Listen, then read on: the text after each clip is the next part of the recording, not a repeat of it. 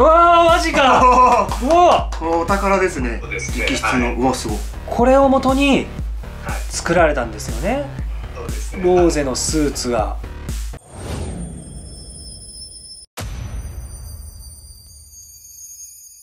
これ忍びは好きなメスでいない。草土じんじんがいくさびリンクの特撮デザインを考える。イエーイ。ヒーローと言ったら、うん。まずはデザインでしょ。そうですね。まあそれを考えなきゃいけないということで今日ははい。監督の田辺さんの方から、はい。たくさんのフィギュアを借りてきました。よくこんなに持ってましたね。子供の時に持ってた量の 確かに。10倍ぐらいあるよ。とりあえずこのウルトラマンの姿勢はいいなっていう感じのところですね。ねこれ多分もウルトラマン？ウルトラマンゼアスあウルトラマンだウルトラマン。じゃないですか？これもウルトラマンだ、はい。これなんだウルトラマン。え待って田辺さんさえウルトラマン派なのもしかしたらあの人ウルトラマン派かもしれないの？ここまでウルトラマンだってことは。あこれ知ってる。おどれですか？ガンダム。あこれはねさすがにあのあまり詳しくなくても。ねあこれも知ってる。ロボコップ。はいはいはい。ダン。まあ絶対10点だけですね。その手に持ってるやつは。これですか？これ。もうもうちょっと待ってこの手に持ってるやつはなんだ人。京本セレクション。これ京本さん？京本正樹さんですか？これ京本さん？これ。還暦誕生日ご一緒させていただきましたからね。おおなるほど京本さんすごいんですよ。やっぱこうマシンガントークで、うん。LINE もされるんですけど、はあのもうこれは有名な話で、はい。京本さんに1通 LINE をすると3通返ってくるっていう。すごいですね。だ2通やると 6, 6通ぐらい返ってくるんですよ。バイタリティがありますよね。すごいバイタリティなんですよ ですねフィギュアってこう見るとたくさんあるんですね、見た目だか。らこれ見てあ見ようって思う人もいれば、うん。これ見てもダサいからもういいやっていう人もいれば、もうここれでねもうこれすごいフィギュアも買いたいとかっていう人もいれば、こいつはちょっと置いといてまあまあでもどれも個性的なねはあのいまあいろんな作品がねそう。まあでもこんなフィギュアになってるってことはねこの人たちはある程度の実力を上げてきてるわけですからね。大先輩たちだよ大先輩たちです本当ここにいる人たちも数少ない成功者たちのはいねここになれなかったヒーローたちもたくさんいるわけ。ですさんいるわけですからね。だからここに入れるようなねうん。ここにドンとど真ん中にボンって来るようなそう。デザインをね。だから今日は数ある諸先輩方のはい。デザインを見て私たちも新しいデザインを作っていこうだと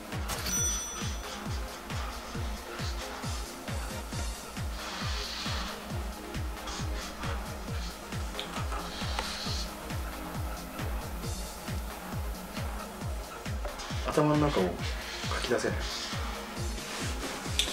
むずいなあすごく。どう何それみこしヒーローサイよくわからない何かができた。武器頭になってません？じゃん。俺の筆がこう書けって言ってたんだよ。ねまずちょっとそれあのちょっと入ってませんか？あいつが。船です。船。あ船の？はい船なんだですよ。顔の形が船。って書きたかったんですよ、うん。でここに砲台があるっていう砲撃がある 鼻が砲台なの、それはねうん、あれそれちょっとエモン入ってますねエモ。ン強そうな猫型ロボット。これあれでしょ多分じゃん 何ど何その中盤チューバーです。チューバー。なるほどね、ちょっとでも四角いな。四角だってカクカクしてる。ダサいな。これはちょっとね見てくれ馬さんです。丸いな。俺のはね丸いな。やはりねスーツデザインうんはスーツデザイナーさんに頼むべきだよ。知り合いとかいないんですか？仮面ライダーもガロもうん。撮影してもあの現場で合わないんで仮面ライダーなんてスーツデザインやってる人なんて分かんないでしょ。ガロは確か雨宮監督か高橋さんかがでこの間のローゼは高橋さんがやってるけど。あジンガの方の。あそうそう。ローゼ。えー、え高橋さんあ高橋さん。ローズさんめっちゃかっこいいじゃないです。かローズめっちゃかっこいいじゃないですか。今こういうイメージでとか言って言 え高橋さんにい。や言えねえよ。高橋さんに今これで現段階これで進みかけてるんですけど それだったら俺ちょっと手伝うってちょっと自信深きお言葉をくれるかもしれないですよ。高橋さんに連絡してみよう。海に何か入れて言ってましたね。えそうなの？手紙に書いてましたよ。やべえじゃん。高橋さんお久しぶりです。お久しぶりです。すいません突然連絡してしまって。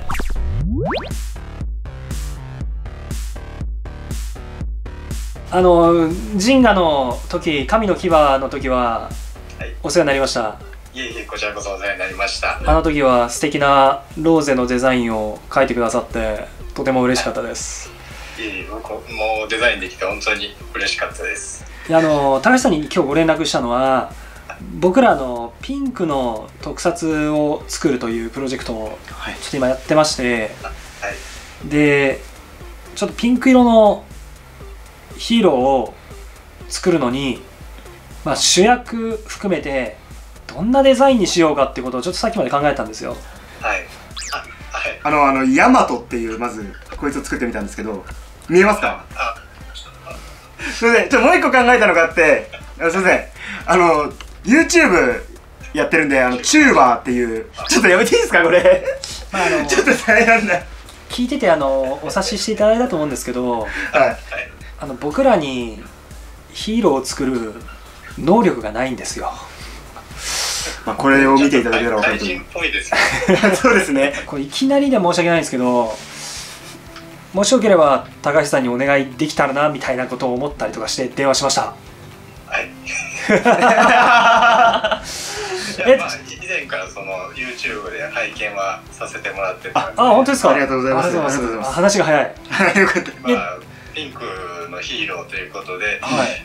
拝見してましたけど誰がそのピンクをデザインするのかなっていうとこがすごい気になっててそれが自分に降りかかってきて そんな降りかかってきたとか言わないでください みたいな感じですけど。やってるとやっぱりちょっとヒーローというなんか想像が難しいなと思って見てたんですよ、えーちょっと高橋さんスケジュールが少し空いてたらそこでお願いできないかなというお願いをしてえ大丈夫ということでよろしいですか？いそうです。ねやー嬉しい言わせたみたいな感じ 無理やり言わせたみたいなありがとうございます。ありがとうございます。えせっかくなんでなんかちょっとデザイナーさんのことを少しどんなことをやうん。やるのかとかそんなことをちょっとお聞きできたらなと思うんですけども例えばローゼの時とかってどれぐらいかかったんですか？その生み出すのに。全体的に言ったら1ヶ月ぐらいはかかってしまってるんですよね。そのラフを起こしてラフでももう5体か6体は考えてそこから選んでもらってでまたそこからああでもないこうでもないってあみんな着地点を決めるみたいな。じゃあ最初はああいう形じゃなかったんですね。全然違いますね、はい、うわーマジか。おうわー。これお宝ですね。やばー。これを元に作られたんですよね。ホラージンガの方がはい。もう際立ってたんで、それを魔界騎士にデザインを移すっていうことで、はいはいはいかはないり悩んで時間はかかりました、ね、そうですよね。なんかジンガと似て似つかないような感じの。最初はローゼ金のガロみたいに牙があったんですよ最初は、はいはいはいはい。はいは。いはい造形まで言ってたんですけどええちょっと違うなってなって。こう見るとすごいですねやっぱり。ちょっとここれっすか？えなんかちょっと他にも参考にしたいんでなんかいろいろあったりしますか？ホラーの方を。おえうわああこれあのお母さんのホラーですよね。ノンロッソですね、はいはいうはいはい。わこんななんだ最初。えってまたなんかちょっと雰囲気が違いますよね。すごく妖艶な雰囲気がすごく出てるんですね、めちゃめちゃ細かい。すごい。トーマホラーですね。あトーマさん。あトーマホラー。これパソコンで書かれてるんですか？直筆で書かれてるんですか？これはアナログで直筆です。え毎回そうやって直筆で書かれるんですか？そうですね。デザインは魂を込める意味もあって手書きで書いてるんですよ。へえこれはあこれ噛まれたやつですか僕が？噛んだやつですね。うわすごっ。えー、やっぱり高橋さんあの直筆で書かないとやっぱ魂が乗らないんですかやっぱり？そうですね。なんかこう気持ちを込めたいというデジタルでやってしまうとはい。どうもなんかしっくりこないものがあって、カラーの方向性をあのスタッフさんに決めてもらう時は、はいはい。あのデジタルで塗ってるんですけど、はいはいはいは簡単に塗るんですけど最終的なデザインが起こす時はもう手書きで。いえー、なんかプロの意識の高さをなんかつけた気がしますね。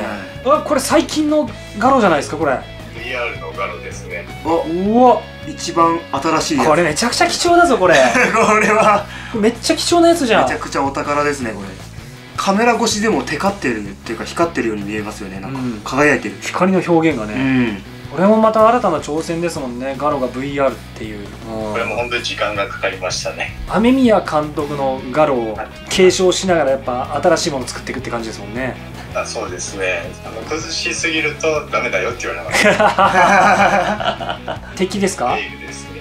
スカートがないのはその CG 部の人がスカートの下まで作れるようにあえてスカートを履かせてないんですよ、うんなるほど。そこまで。見えてないところまで描くんですね。なんかこういうのを描く時ってモチーフとかあったりするんですか？まあ今までこうスケッチとかししといて、はい。これをやりたいなっていうのを貯めておいてなんかそういう引き出しから掘り起こすみはいたいなはいはいはいはいはいへはー一日考えるだけじゃ何も浮かばないですねさすがにいいやまあそうっすよね引き出しからやっぱあれとあれを組み合わせてとかそういう作業をやっぱ、なんかやっぱり普段から思ったこととかね、うん考えついたもの、ですね世界観デザインというかコンセプトアートとかってデザインされてたりとかもするん含めてデザインできないとダメなのではいはいはい。言われればはい書きます。いやじゃああれですね。ピンクの特撮もそういうのを含めてお願いできたらいいですね。なんかわかりました。お早い。早早い。いもう二つ返事で。なんてことだ。ヒーローのデザインと。それとちょっとコンセプトアート作りを一緒にできたらなと思いますので。よろしくお願いします。よろしくお願いしますお願いします。ああ嬉しい。い ありがとうございます。や大輔高橋さんいい人すぎたね。いやびっくりした。まさかの結構二つ返事でね早かったですね。ていうかこのピンクの特撮プロジェクトの動画見てくださった。そうそこが一番びっくりした。話が早い、まあ、ここで高橋さんという、うん。まあ、デザイナーさんゲットできたのは心強いですね。相当心強い。確実な実績がありますもんね。だって大輔のこれだからねなんいだこれ。や確かに。良かったですね。ねこれになるところでしたよ皆さん。本当に。やめやめいやいやいやいやちょっとちょっとちょっと大好きだ待ってああ。大輔だいやいやいやいやこれえダメダメ。ちょっと待ってくださいちょっと待ってください。えまずまずまず恥ずかしいんでしょちょっと。待って恥ずかしいけど。違う違う違う。違うまず違う。